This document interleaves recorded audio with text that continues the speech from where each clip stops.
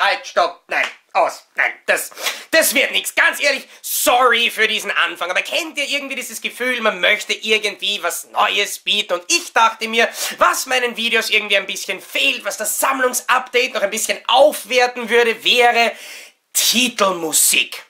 Nachdem ich mir keine leisten konnte, musste ich einfach irgendeine Billigsdorfer Band aus meinem eigenen Kopf engagieren. Aber glaubt mir, ich habe hinter der Kamera zumindest getanzt. Bist du deppert? Ich habe getanzt. Dagegen, dagegen sah Ryan Gosling in La La Land aus wie ein Nilpferd auf Ecstasy. Aber egal, die Kamera hat für euch glücklicherweise in die andere Richtung geschaut, sodass ihr von meiner ähm, gerade eben erfolgten Beleidigung eurer Intelligenz zumindest nur die Hälfte miterleben musstet. Aber trotzdem möchte ich euch herzlich willkommen heißen in Playzockers Gaga Land, nämlich beim allwöchentlichen Sammlungsupdate, das ich euch jeden Sonntag um 17 Uhr hier auf Playzocker Reviews begrüße. Und ich glaube, spätestens diese Woche, also ich habe mir das eigentlich schon selbst einige Male unterstellt, aber wann, wenn nicht heute, holen mich die Leute mit der weißen Ich hab mich Liebjacke.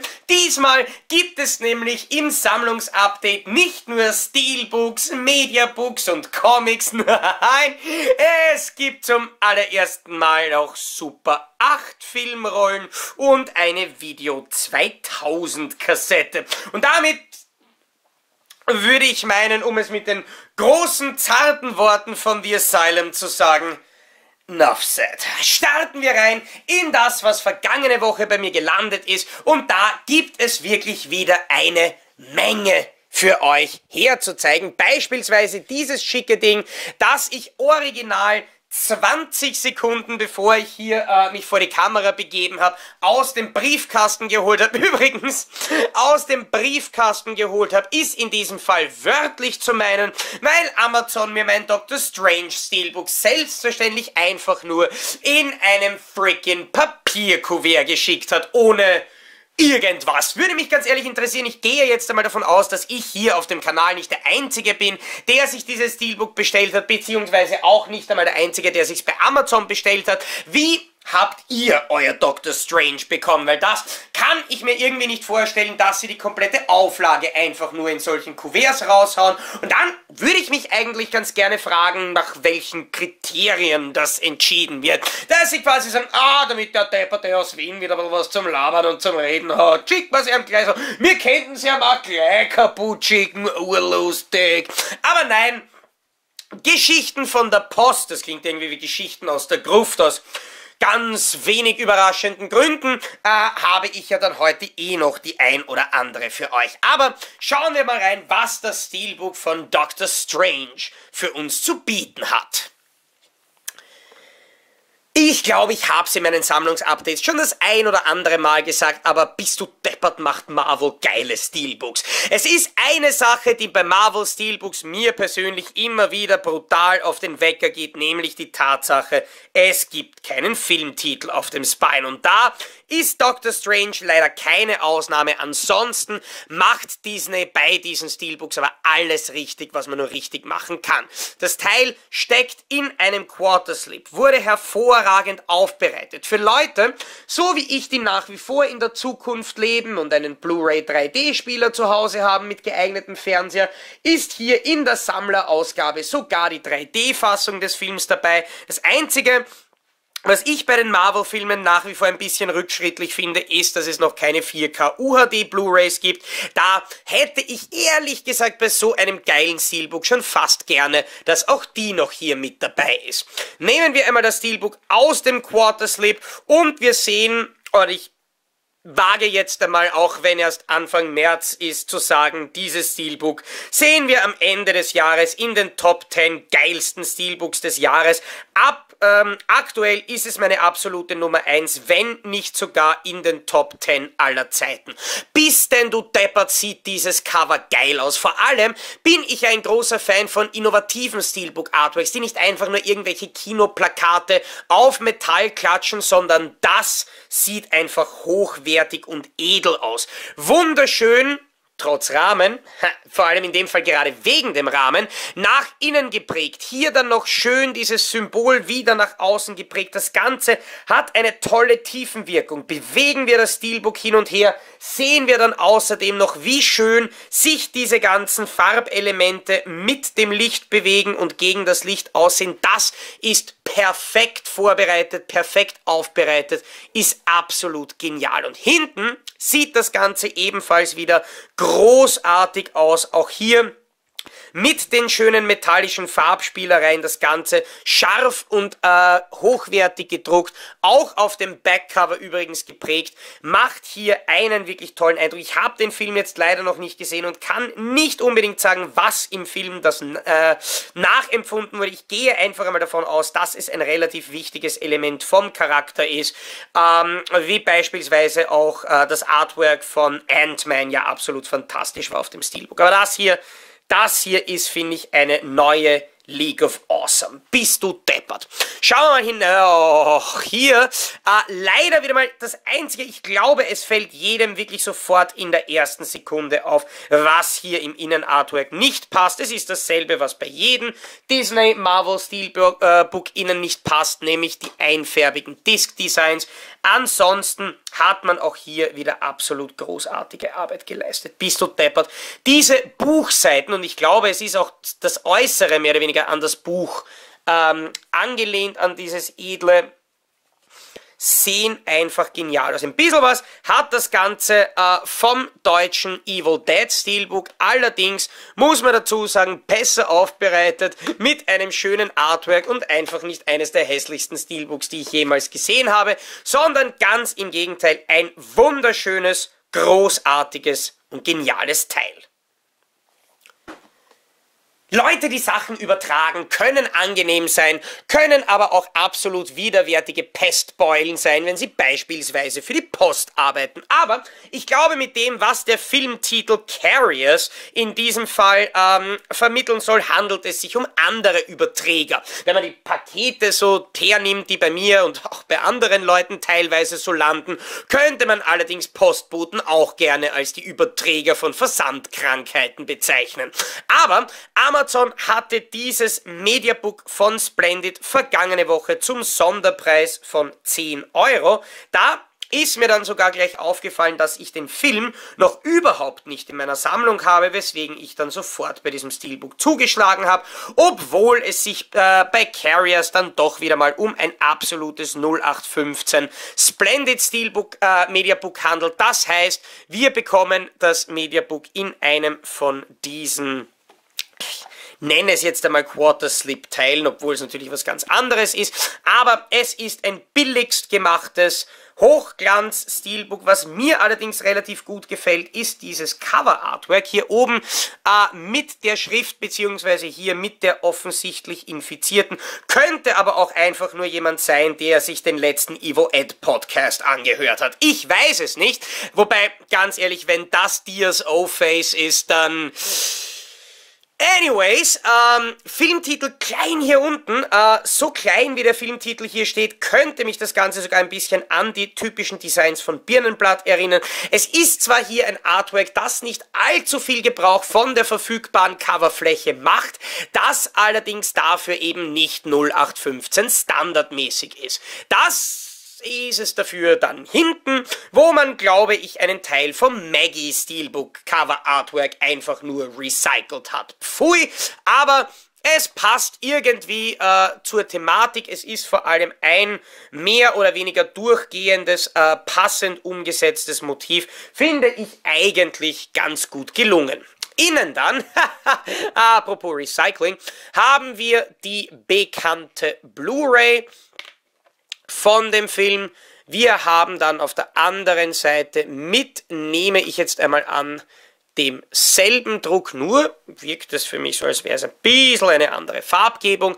Die DVD, was mir hier allerdings sehr gut gefällt, ist die Tatsache, dass dieser Schrift äh, Zug hier von links nach rechts auf dem Design durchgeht, was man natürlich etwas besser machen hätte können. Ich meine, natürlich so kann man das relativ einfach machen, wenn man einfach auf die eine Seite und auf die andere Seite exakt das gleiche Hintergrunddesign druckt und nur einzelne ähm, Bildelemente austauscht, beispielsweise das Zitat oder eben die Positionierung von diesem Biohazard-Symbol. Na ja, splendid, gell?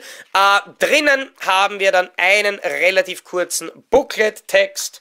Ähm, noch dazu mit einigen Bildern dazu von Nando Rona geschrieben. Außerdem noch etwas Werbung für andere äh, Splendid-Filme, wie beispielsweise Zombie Shark, den ich unbedingt noch sehen muss. Aber im Großen und Ganzen würde ich sagen, das ist ein absolutes 0815 Billigsdorfer äh, Mindestmaß an Aufwand Mediabook, wo man sich allerdings, wenn man es so wie ich zu einem Preis von 10 Euro bekommt, auch nicht beschweren kann, vor allem eben, wenn man den Film so wie ich schon nicht, äh, schon noch gar nicht in der Sammlung hat. Juan Piquet Simons Pieces hat wahrscheinlich eine der genialsten Taglines der kompletten Filmgeschichte. Pieces, It's exactly what you think it is. Das stand äh, zum Beispiel auf dem alten amerikanischen Kinoplakat von dem Film drauf, hat es mittlerweile auch auf einige DVDs bzw. Blu-rays geschafft, aber X-Rated hat den Film vor einiger Zeit in der Eurocult Collection auch als Mediabook veröffentlicht. Und ich glaube, wenn ihr euch die drei Artworks A, B, C einmal anschaut, werdet ihr wissen, warum ich mich für dieses entschieden habe. Cover D und E wurden mittlerweile, nachdem der Titel schon restlos ausverkauft ist, ebenfalls schon angekündigt. Wobei mir Cover D ebenfalls sehr gut gefallen würde. Das möchte ich aber nicht auf einem Mediabook haben, weil ich das schon auf der kommenden Arrow Video ähm, Blu-ray Special Edition beziehungsweise auf dem dazugehörigen ähm, Soundtrack auf Vinyl habe. Aber was ich hier so geil finde, ist, wie schön hier mehr oder weniger diese alte Retro-Collage gemacht wurde. Bis hin zu dem Detail,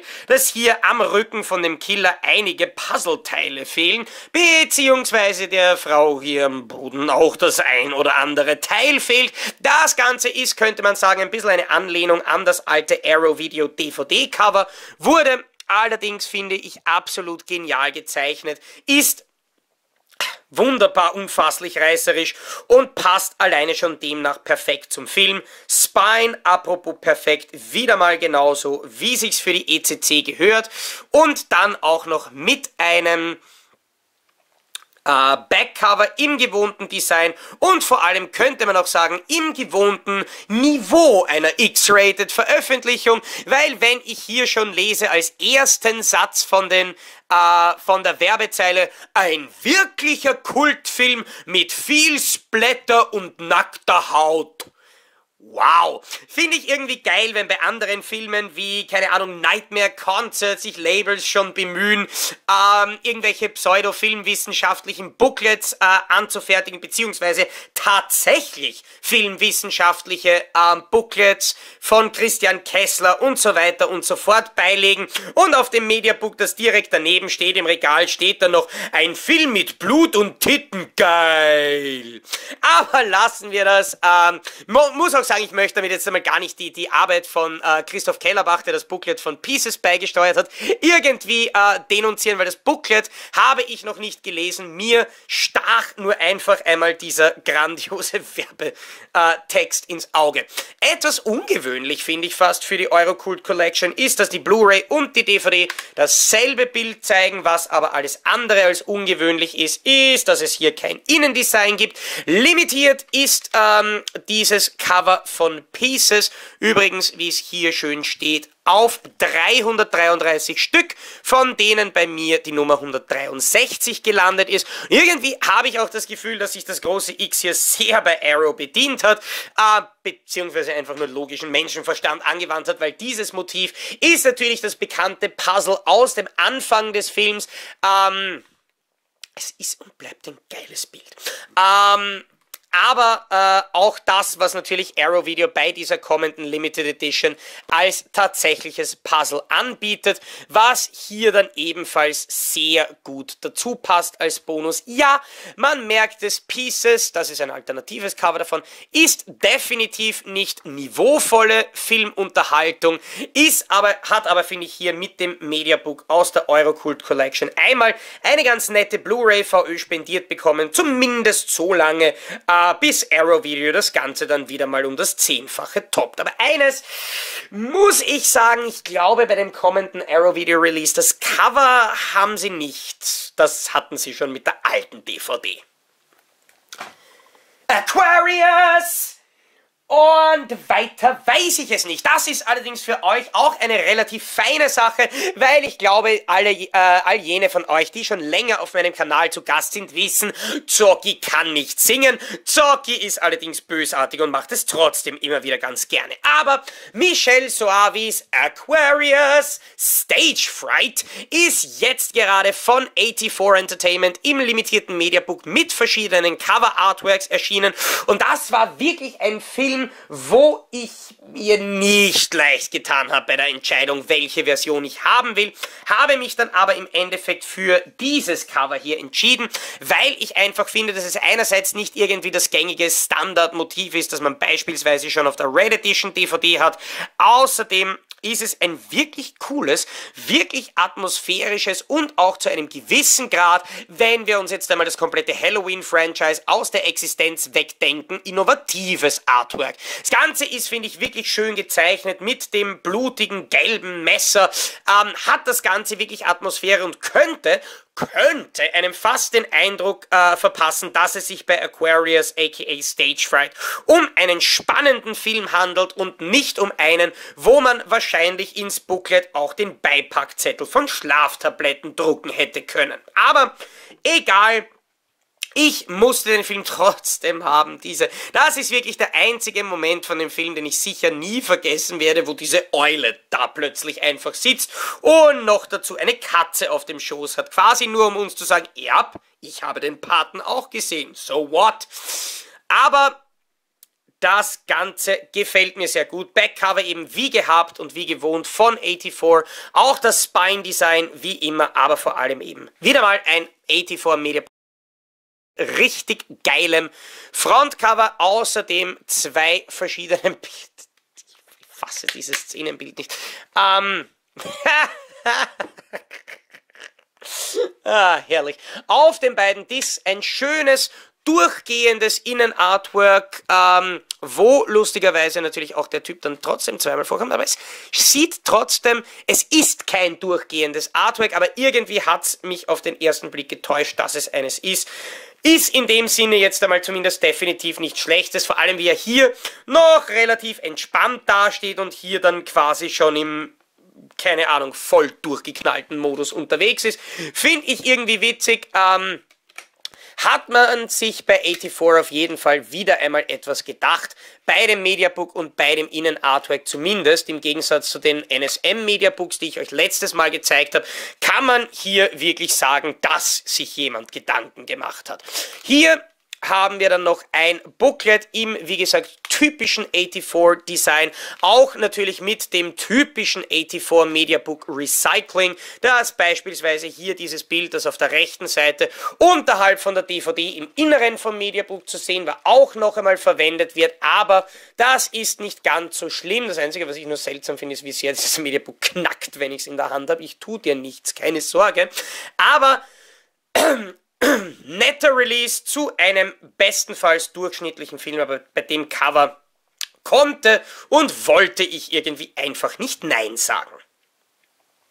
Ganz zum Schluss, äh, bevor wir dann zum wirklichen Wahnsinn übergehen, noch ein kurzer Hinweis. Äh, außerdem hat mich vergangene Woche mit diesem großartigen Cover Artwork das Lurking Fear Media Book von Wicked Vision erreicht. Dazu muss ich allerdings hier im Sammlungsupdate gar nichts mehr sagen, beziehungsweise euch auch gar nichts mehr zeigen.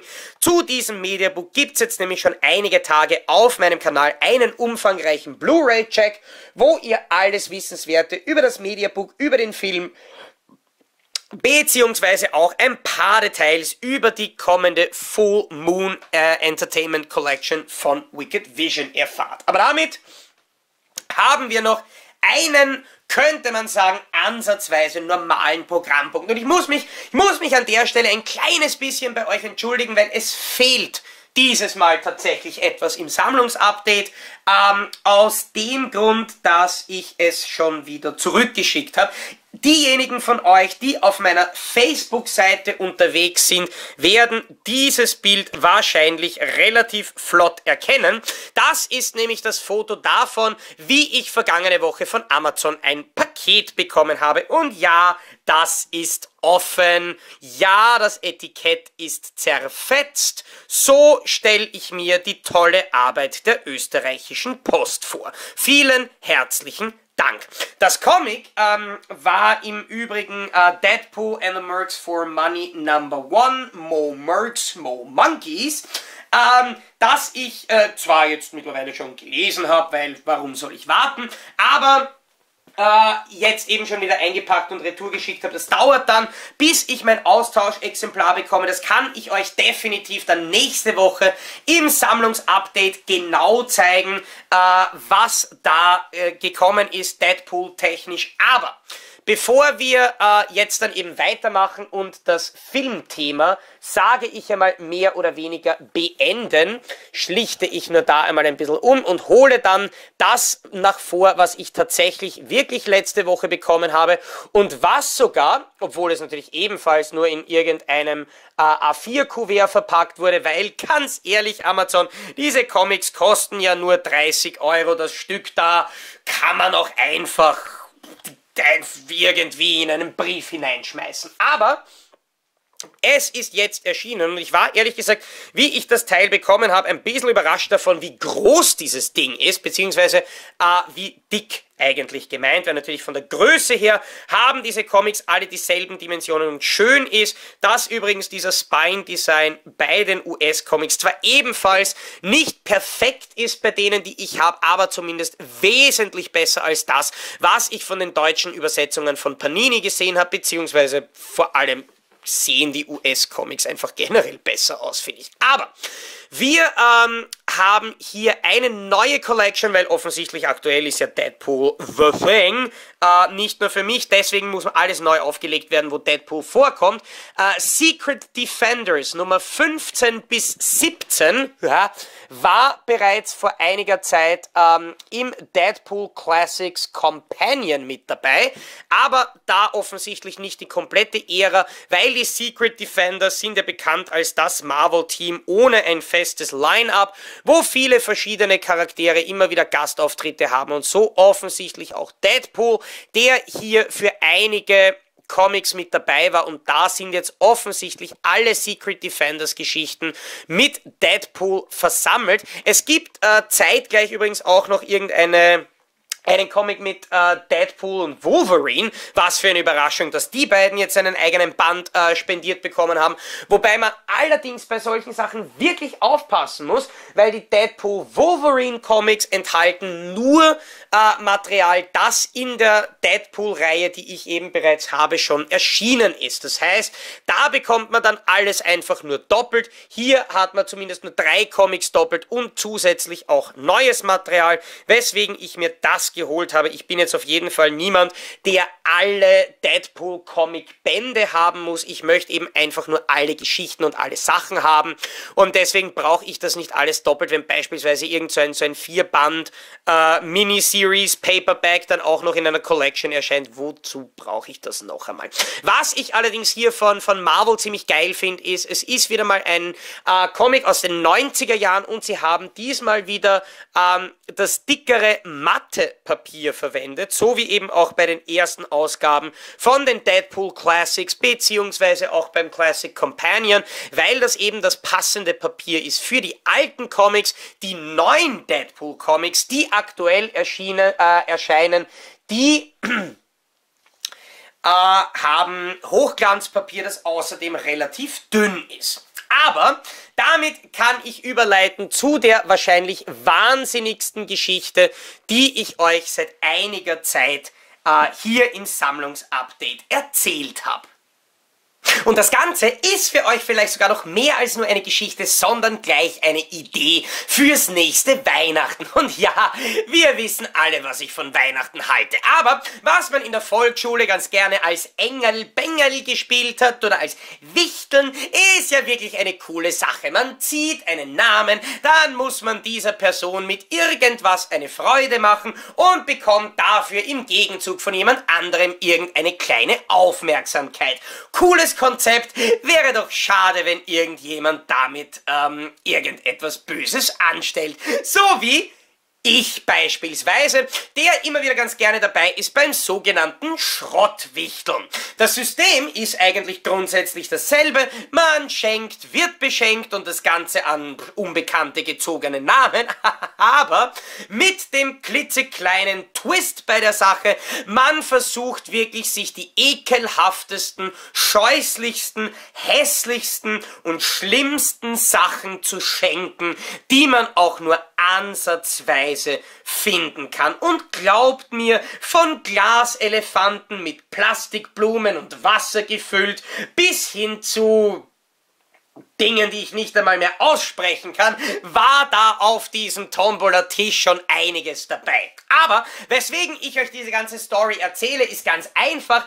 Die besten Sachen, falls man äh, diese Tradition vielleicht auch äh, in, ihr in euren Kalender übernehmen wollt, findet man in irgendwelchen Second-Hand-Shops. Nämlich genau in denen, äh, die irgendeinen Nachlass einfach komplett aus, äh, aufkaufen und dann von wertvollen Lustern und Sesseln bis hin zu kitschigen Glasschrott alles verkaufen. Und das bringt mich zu der Geschichte, weil als ich letztens unterwegs war zur Geburtstagsfeier von eben einer dieser Schrottwichtel-Teilnehmerinnen kam ich an einem von diesen Second-Hand-Tempeln vorbei.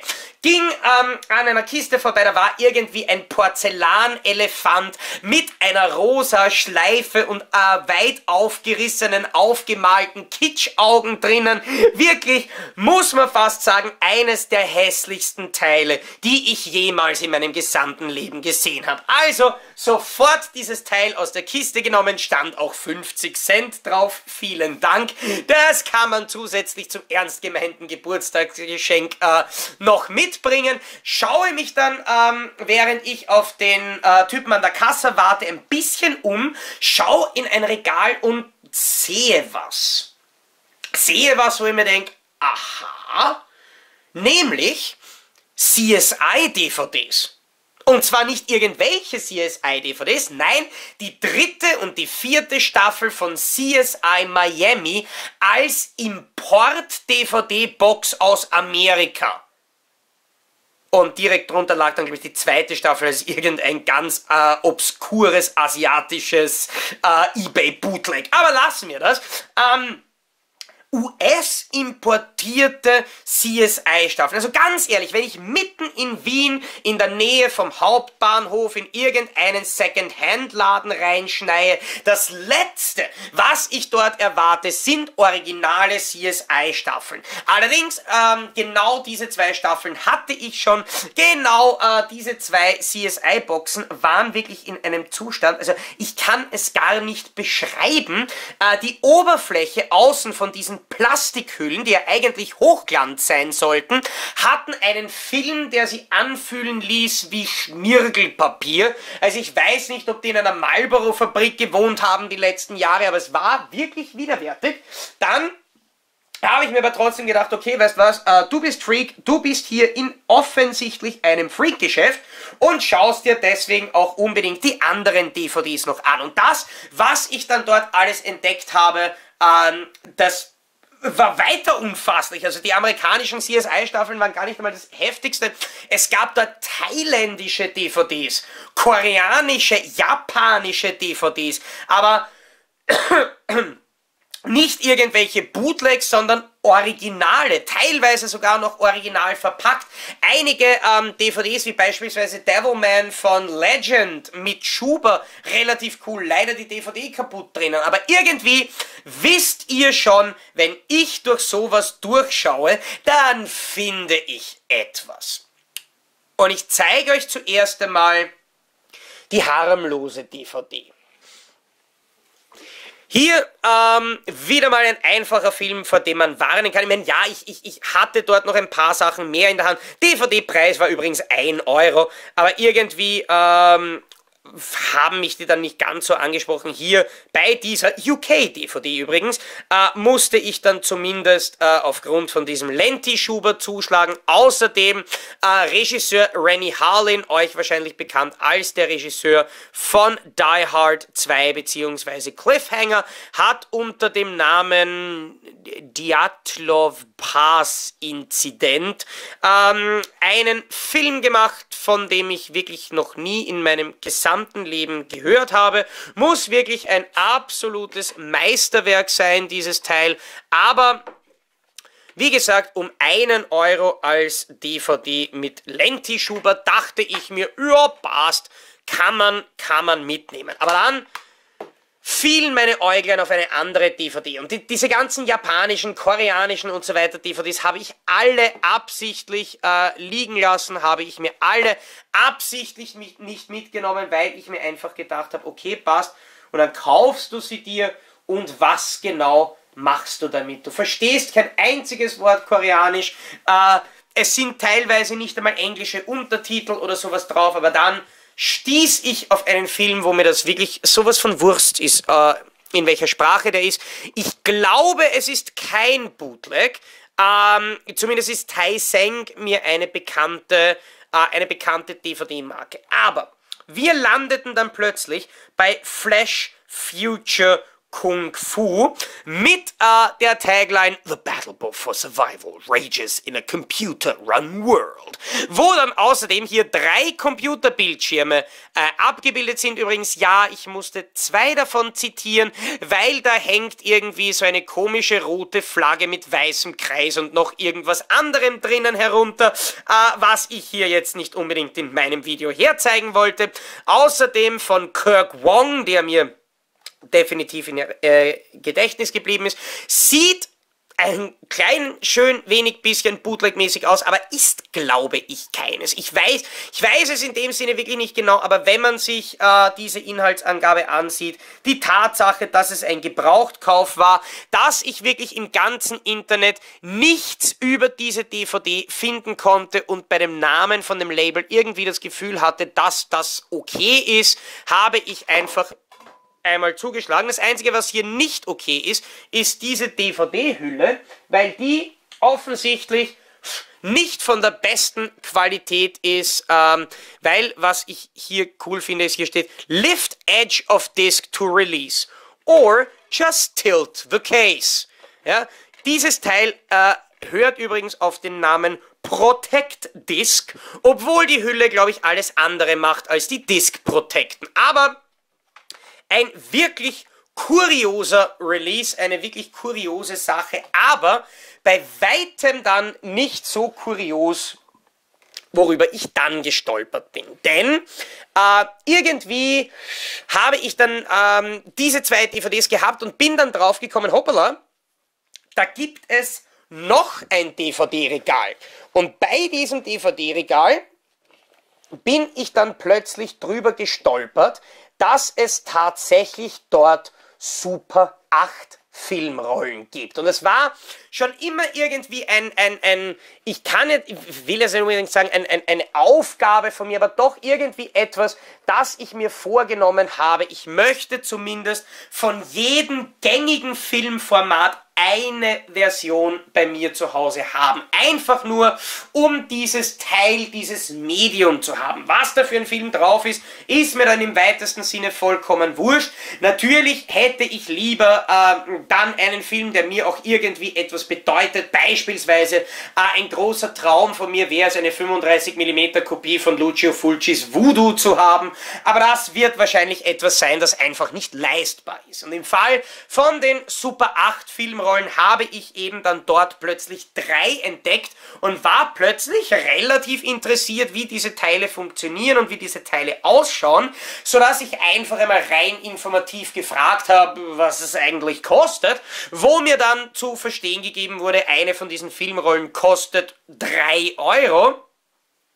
Weswegen ich dann gemeint habe, okay, passt. Dann machen wir für diese drei Filmrollen, für diese zwei DVDs und für den ultra hässlichen Porzellanelefanten einen Zehner geradeaus und passt. Damit bin ich dann äh, rausspaziert, bin natürlich auch gleich direkt auf die Geburtstagsfeier gefahren, bin dann dort mit diesen beiden DVDs und den drei Filmrollen angetanzt, aber ganz ehrlich, jeder, der mich wirklich kennt, weiß, dass ich einen klitzekleinen Schuss habe, von daher, es hat eigentlich niemanden so wirklich gewundert. Aber was ich jetzt machen möchte, ist, mir mit euch ein kleines bisschen was von diesen Super 8 Rollen noch anzuschauen, also nicht direkt, weil Projektor habe ich keinen. Ich hatte sogar früher einen im Keller äh, bei meinen Eltern, aber irgendwann einmal gab es dann eine Überschwemmung, ganz eine tolle Geschichte.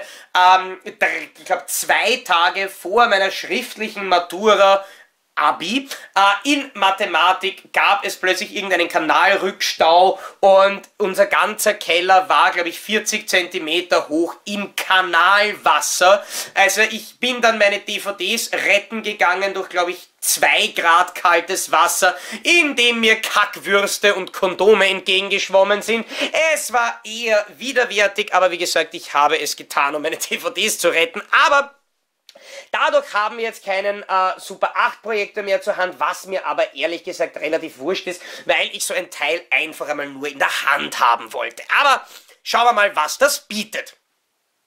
Hallo Janine!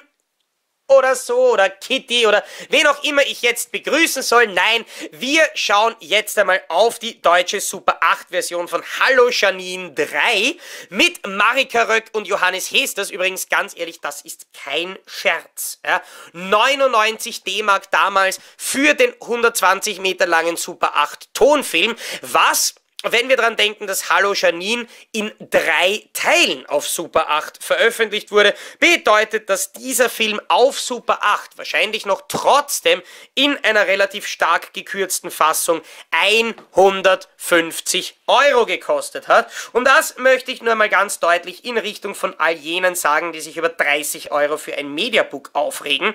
Wir haben da dann noch einige andere Beispiele äh, zur Hand, aber Zuerst ähm, ein wirklich einfaches. Ich, ich kann es ehrlich gesagt nicht einmal wirklich ähm, kommentieren. Hier auf jeden Fall dann natürlich noch die Werbehinweise für die anderen beiden Teile von diesem Film. Muss natürlich auch dazu sagen, dass ich von dem Film keine Ahnung habe und gar nicht einmal gewusst habe, dass der existiert. Aber was ich bei dieser ähm, Super 8 Rolle relativ cool finde, ist die Art, wie sie verpackt wurde. Das Ganze ist zwar Plastik, aber hat irgendwie ein, ein lederartiges Flair und Ambiente und vor allem sitzt die Rolle hier sehr schön in einer Vertiefung, wo dann drinnen auch noch äh, das Ufer-Logo ist, weil Ufer hat ja damals, glaube ich, das eigene Logo relativ gerne irgendwo verwendet bei ihren Releases, auch bei den VHS-Kassetten und so weiter. Da weiß ich es noch eher.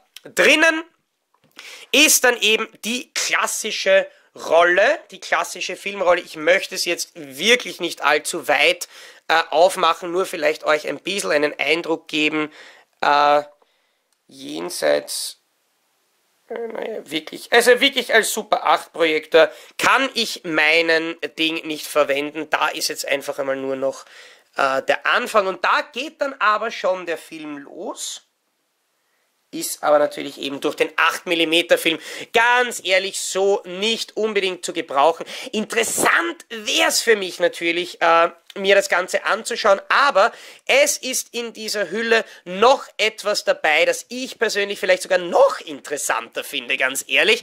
Ähm, nämlich die Tatsache, warum ich dieses Ding so blöd halte und es einfach immer wieder aufgeht. Nein, es ist hier noch etwas Werbematerial drinnen. Es sieht einfach kann, ich kann es mir nicht lassen. Es sieht einfach echt cool aus. Aber hier ist noch ein Gewinnspiel. Gewinnen Sie mit der UFA! Und zwar mit interessantem lederartigen Papier.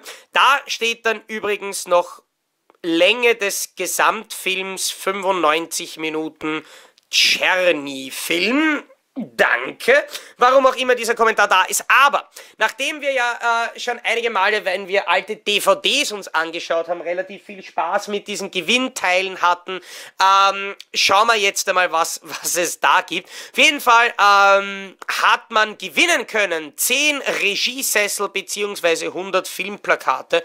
Wow, für diese Preise würden Leute heutzutage wirklich gar nichts mehr machen, nicht einmal ein, ein Like auf Facebook hergeben. Aber was ich natürlich alleine eben eben interessant finde, ist, äh, das, wie, wie, wie sehr sich das eben geändert hat. Kataloge vom Händler beraten lassen oder zum Händler gehen ähm, und dort durchschauen, aus wie viel Rollen soll ein guter Spielfilm bestehen. Quasi übersetzt die Frage, wie viel sollen wir aus einem Film rauskürzen.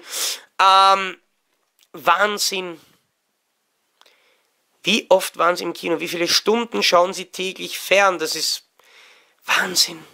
Für unsere Statistik. Filmen Sie selbst. Ja? Das ist wirklich etwas, eine Frage, die Sie äh, im, im Zeichen von YouTube, äh, in Zeiten von YouTube-Fame und, und, und Selfie-Handys definitiv nicht mehr fragen würden. Ist für mich wirklich ein absolutes Kuriosum in meiner Sammlung. Eines, wo ich jetzt nicht wahnsinnig viele Stück davon brauche, aber wo ich eigentlich ziemlich happy bin, dass dieses Teil bei mir ist.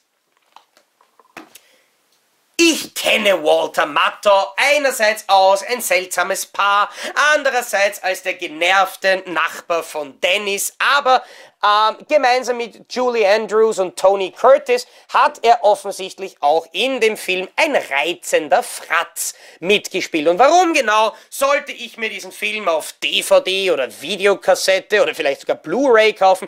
Generell irgendeinem Format, das ich nachher abspielen kann. Nein, ich habe eben durch Zufall die Super 8 Filmrollen davon entdeckt, eine davon zum Preis von 3 Euro und habe damit aber im Gegensatz zu beispielsweise Hallo Janine, wo ich nur den dritten von drei Teilen habe, hier unter Anführungszeichen den kompletten Film natürlich brutal gekürzt, so wie das damals bei den ähm, Super 8 Filmen üblich war, dass man einfach nicht den kompletten Film bekommt, sondern nur einen Ausschnitt davon. Aber was ich relativ cool finde, ist, dass diese Artworks Piccolo-Film ja teilweise sogar schon auf, auf uh, Hardboxen und so weiter verwendet wurden, dass diese Artworks hier, diese eben einfachen Fotografien, Robert würde mich jetzt wahrscheinlich gerne sehr böse anschauen, wenn er das hört, aber eigentlich so hässlich sind. Ich meine, das Bild von Teil 2 finde ich ja irgendwie noch ganz cool, aber das ist irgendwie, ich weiß nicht. Ja.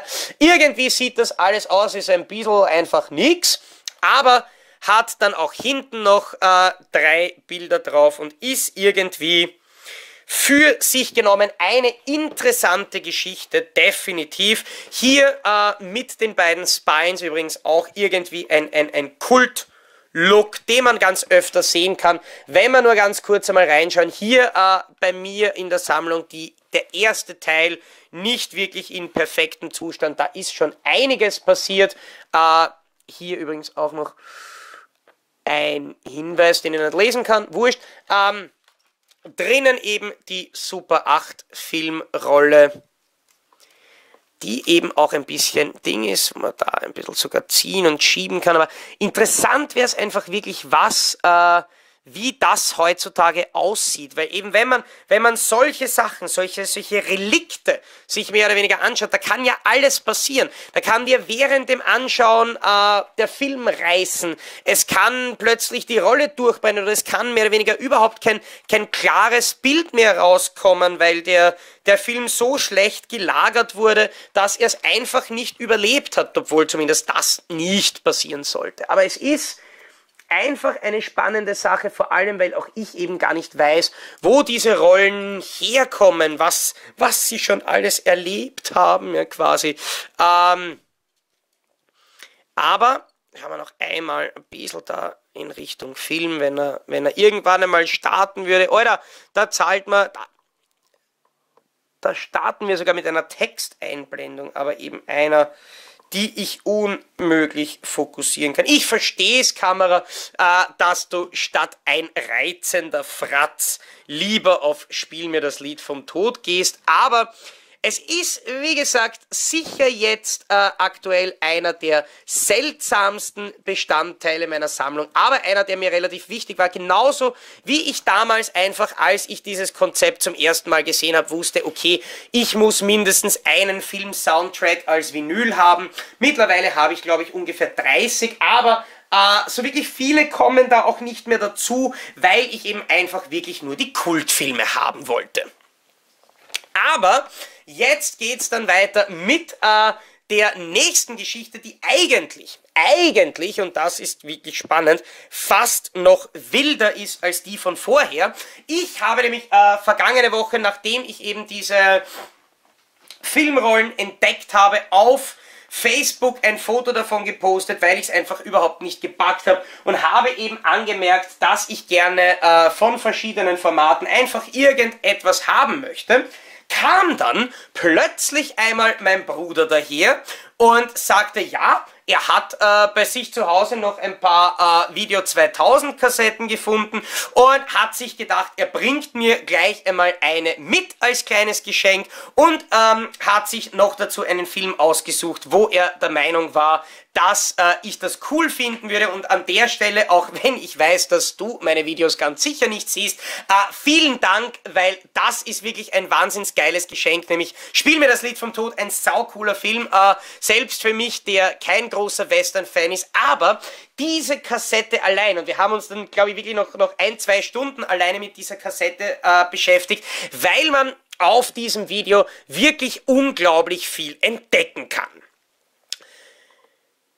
Spiel mir das Lied vom Tod ist ein absoluter Kultfilm. Definitiv äh, nicht nur wegen der Musik von Ennio Morricone, aber definitiv von der beeinflusst. Eines der wahrscheinlich bekanntesten Themes der Filmgeschichte. Ein cooler, ungemütlicher Klang und ein wirklich geiler Film. Aber damals von CIC-Video noch zu der Zeit äh, erschienen, als es nicht eindeutig war, dass sich die VHS-Kassette durchsetzen würde, sondern wo es noch VHS Video 2000 beziehungsweise auch Betamax-Kassetten gegeben hat. Im genauer gesagt Jahr 1983 ist diese Kassette hergestellt worden. Und, und jetzt kommen wir zu einem wahnsinnig spannenden Punkt wieder für alle Leute, die sich gerne über die Preise von Mediabooks aufregen. Ja, diese Preise sind echt. Fast 1000 Schilling 100 D-Mark für diese Kassette. Und vor allem, was man da auch nicht vergessen darf, diese unverbindliche Preisempfehlung ist auf die Kassette drauf gedruckt. Das ist nicht einmal irgendein Händler, Sticker oder sonst irgendwas. Also CIC war der Meinung, das ist so ein super Preis, ähm, dass wir den da unbedingt draufdrucken müssen. Und ich habe jetzt da letztens in einer der ersten Ausgaben vom Zombie-Magazin ähm, noch einmal die Werbung gesehen, damals zur alten Marketing-VHS-Kassette von die Klasse von 1984, die mit schlanken 278 Mark zu Buche geschlagen hat. Absolut unfasslich. Außerdem, äh, damals gab es schon die großen, also die, die FSK-Logos auf dem Frontcover. Wahnsinn. Warum haben sich dann alle Leute aufgeregt? Naja, wahrscheinlich, weil es nicht so groß war, das weiß ich aber noch. Ähm, vor allem, weil es ja eigentlich nicht einmal ein echtes FSK-Logo ist. Äh, original Kinofassung. Mhm. Ist äh, vom Coverdesign her eigentlich relativ speziell, eigentlich relativ interessant. Mit den Credits in der Mitte sieht man so auch nicht immer. Äh, dann CIC Taurus auf dem Spine mit dem Filmtitel und auf dem Backcover dann wunderschön, eigentlich billigstmäßig retro aufbereitet. Ähm, mit zwei Bildern, mit der Inhaltsangabe. Ich weiß nicht, ob man in den 80er Jahren skrupellos wirklich noch mit C geschrieben hat oder ob das einfach ein Tippfehler ist, aber äh, hier unten dann, ja, 158 Minuten Farbe, 1983 CEC, hier steht's ganz, ganz in klein, ja, absoluter Wahnsinn, aber der wirkliche Wahnsinn kommt erst dann, wenn wir das Ganze aufmachen. Vor allem für diejenigen unter euch, die noch nie ein Video 2000 Band gesehen haben. Das ist nämlich was wirklich Geiles. Oh ja, bist du deppert, ist das geil. Ich weiß jetzt eben leider nicht, weil es das einzige äh, Video 2000 in meiner Sammlung ist. Äh, zeige noch ganz kurz vorher her, eben auch hier im inneren CIC Taurus drin.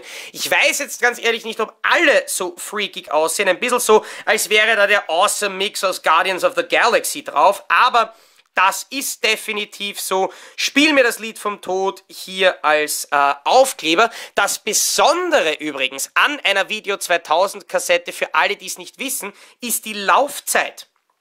Auf dieser Kassette, wo der Film drauf ist, haben 480 Minuten Platz. Zweimal 240 Minuten, weil man Video 2000 genauso wie Audiokassetten umdrehen und beidseitig bespielen konnte. Etwas, das VHS-Kassetten nicht konnten. Das Einzige, was ich nicht weiß, ist, wie jetzt bei dieser Kaufkassette dann der Film drauf ist. Weil eigentlich ist es eine 480er. Der Film dauert ähm, 158 Minuten. Ich gehe jetzt einmal nicht davon aus, dass man den Film äh, während dem Film umdrehen muss. Ob der Film jetzt aber auf beiden Seiten zweimal drauf ist oder nicht, äh, äh oder andere Sachen, kann ich gar nicht sagen. Ich weiß nur, dass das optisch eine wirklich unglaublich geile Sache ist. Wahnsinn, äh, wie dieses Ding aussieht, aber es wird noch geiler. Wenn man nämlich diese Kassette öffnet, hat man irgendwie fast das Gefühl, es öffnet sich das Maul eines Aliens. Wie das dann aufgeht, na jetzt geht es nicht richtig auf, Moment. Normalerweise man merkt natürlich diese Kassetten, ja, so geht's dann. Äh, diese Kassette ist auch schon relativ alt, aber wenn sich die dann öffnet und hier dann mehr oder weniger das Band freigibt, ist es auch eine ziemlich interessante Sache. Eigentlich wollte ich es ja... Ach so, deswegen, weil ich es nicht schief mache. Jetzt habe ich es verstanden. Ja. Wie das hier tut. Wirklich geil. Vielen lieben Dank dafür. Definitiv ein skurriles Ding, ein spannendes Ding in meiner Sammlung. Wahnsinn. Und das noch dazu zu einem absoluten Kultfilm. Da bin ich richtig happy. Und damit könnt ihr jetzt auch richtig happy sein, denn ihr habt das allwöchentliche Sammlungsupdate von dieser Woche hiermit erfolgreich hinter euch gebracht. Und ich kann nur noch einmal aufbauen, was ich diese Woche bekommen habe. Es war nicht wahnsinnig viel in Wirklichkeit, aber es ist trotzdem ein relativ langes Video geworden, weil einfach diesmal tatsächlich zu jedem Ding, das neu bei mir gelandet ist, irgendwo eine Story dabei war, irgendwo was Spezielles, Interessantes dabei war. Hoffe ich zumindest, dass ihr das auch so findet.